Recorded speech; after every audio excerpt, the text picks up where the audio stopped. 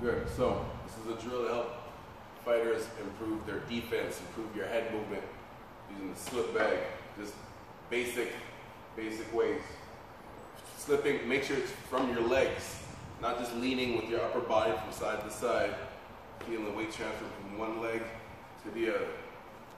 Boom, boom. So you just know it just comes with the timing. If you if you move the bag just a little bit, then you have a little bit of time before you have to move again. Boom, boom. If you throw it further, you have a little bit of extra time before you have to move your head again. So that's slipping, going side to side now, ducking under.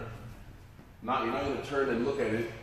Just see out of the corner of your eye when you're ducking under, leaning back, boom, boom. First get that, feel, feel comfortable using your legs first, then you can add in the punches. Boom, don't get hit, lean back.